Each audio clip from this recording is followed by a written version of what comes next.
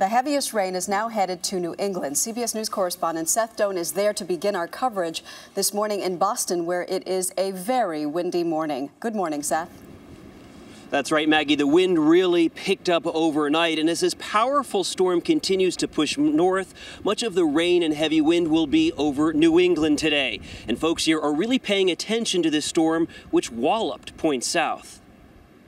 The storm is blamed for four deaths in North Carolina. A young couple was killed along with their infant daughter when their car ran off a rain slicked highway and plowed into a watery ditch. Their twin three year old boys were pulled out alive, but one died a short time later. Residents in Craven County used canoes to rescue neighbors stranded in their homes by the high water.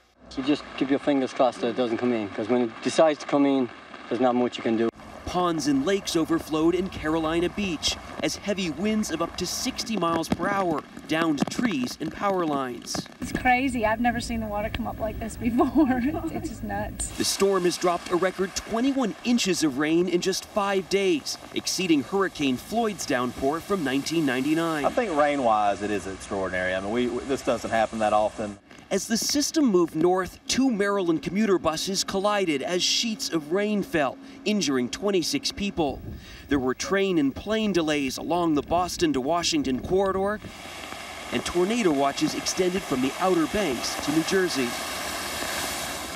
And now forecasters are warning about the danger of flash floods as heavy winds and high rains enter this region.